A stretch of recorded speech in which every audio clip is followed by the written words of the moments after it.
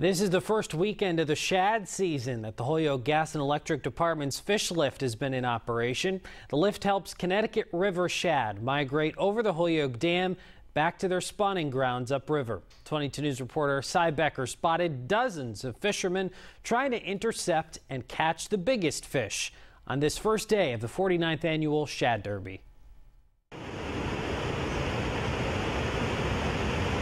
Fishermen from all over western Massachusetts clustered either at the river's edge or right in the Connecticut River in Holyoke and South Hadley.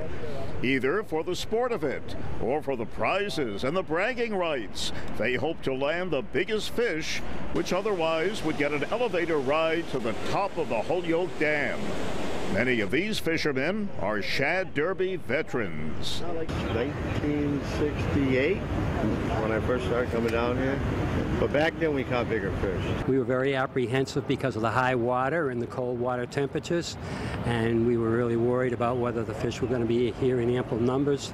Shad Derby enthusiasts hope that the biggest fish this weekend will not be the ones that got away. Last year, some 400,000 shad were lifted over the Holyoke Dam.